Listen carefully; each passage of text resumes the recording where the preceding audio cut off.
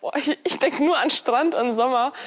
Ich äh, kenne ein paar Gegnerinnen äh, von dort, von meiner Freundin Hannah Goda, die kommt aus Ägypten. Die darf man auf jeden Fall nicht unterschätzen, die spielen äh, unangenehm. Ich habe auch eine, ich habe gerade ihren Namen vergessen, aber auch schon oft auf der Tour gesehen. Aber ähm, ja, die Bilanz, ich glaube, wir alle haben noch nicht einmal gegen eine Nigerianerin gespielt. Also ich kann mich nicht daran erinnern, aber ich glaube, äh, unsere Chancen stehen gut und ähm, wenn wir konzentriert spielen, kriegen wir das hin.